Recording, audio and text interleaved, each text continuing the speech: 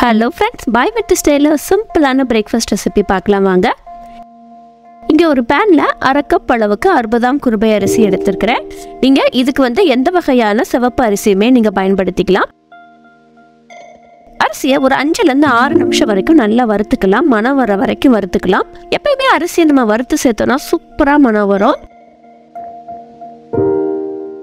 வறுத்த அரிசியை ஒரு பவுலுக்கு மாற்றி தனியாக ஆற வச்சிடலாம். திரும்பியும் அதே பேன்லயே ஒரு கால் கப்புக்கும் கொஞ்சம் கம்மியா பாசிப்பருப்பு எடுத்துருக்கிறேன். அதையுமே நல்லா பொன்னிறமா ஆகிற வரைக்கும் நம்ம வறுத்து எடுத்துக்கலாம். பாசிப்பருப்பு டக்குன்னு செவந்துடும் அதனால அரிசியோட சேர்ந்து வறுக்க வேண்டாம். ரெண்டையும் தனித்தனியாவே வறுத்து வச்சுக்கலாம். வறுத்த அரிசியும் பருப்பையும் மிக்சியில போட்டு குறை குறைப்பா அரைச்சி எடுத்துக்கலாம். ஒன்று பருப்பும் அரிசி அங்கங்க இருந்துச்சுன்னா நம்ம சாப்பிடும் போது ரொம்ப நல்லா இருக்கும். அடுத்து இங்க ஒரு ப்ரெஷர் பேன் எடுத்துருக்கிறேன். ஒரு ஒரு டீஸ்பூன் அளவுக்கு எண்ணெயோ நெய்யோ நீங்க சேர்த்துக்கலாம். அடுத்து ஒரு ஒரு இன்ச் அளவுக்கு பட்டை ரெண்டே ரெண்டு கிராம்பு ஒரு ஏலக்காய் ஒரே ஒரு பச்சை மிளகாயை சேர்த்துருக்குறேன். ஒரு வதக்கு வதக்கிட்டு ஒரு பெரிய வெங்காயத்தை பொடி பொடியா நறுக்கி வச்சிருக்கிறேன். அதை சேர்த்துக்கலாம்.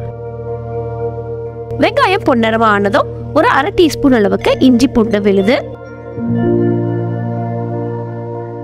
இஞ்சி உன்னோட பச்சை வாசனை போனதுக்கு அப்புறமா தக்காளி ஒன்று சின்ன சின்னதாக நறுக்கி வச்சிருக்கிறேன். அடுத்து உங்களுக்கு விருப்பமான காய்கறிகளை ஒன்று ஒன்றா சேர்த்துக்கலாம். நான் இங்கே கேரட்டும் பச்சை பட்டாணியும் சேர்த்துருக்கிறேன். கூடவே ஒரு பதினஞ்சுல இருந்து இருபது புதினா இலைகள் சேர்த்துக்கலாம். நல்ல மனம் இருக்கும்.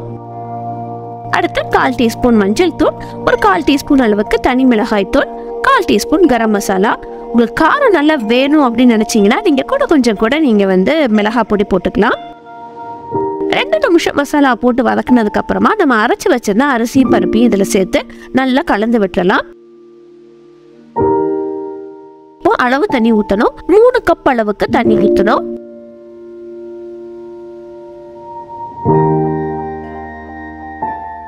அடுத்து கடைசியா எடுத்த தேங்காய் பால் ஒரு அரை கப் அளவுக்கு ஊற்றிருக்கிறேன் சாதத்துக்கு தேவையான அளவு உப்பு போட்டுடலாம்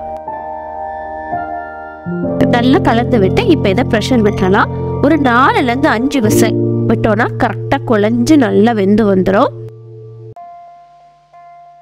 தண்ணி அளவு கரெக்டாக ஊற்றுனதுனால அடியிலையும் பிடிக்காம நல்லா ஒன்று போல வெந்து வந்திருக்கு.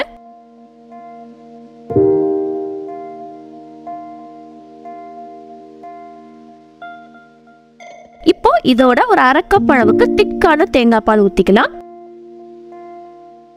இதில் தண்ணி ஊற்ற ஊற்ற இழுத்துக்கிட்டே இருக்கும். நீங்கள் ஆற ஆற கெட்டியாகிக்கிட்டே இருக்கும். அதனால நம்ம சூடாக சாப்பிட்டோன்னா நல்லாயிருக்கும். கடைசியாக இறக்குறதுக்கு முன்னாடி கொஞ்சமாக கொத்தமல்லி எல்லாம் தூவி இறக்கிட்டோன்னா சூப்பரான பாய் வெட்டு ஸ்டைலில் ஒரு அருமையான ஹெல்த்தியான பிரேக்ஃபாஸ்ட் ரெசிபி ரெடி பண்ணியாச்சு. கட்டாயம் உங்கள் வீட்டில் ட்ரை பண்ணி பாருங்கள் தேங்க்யூ தேங்க்ஸ் ஃபார் வாட்சிங்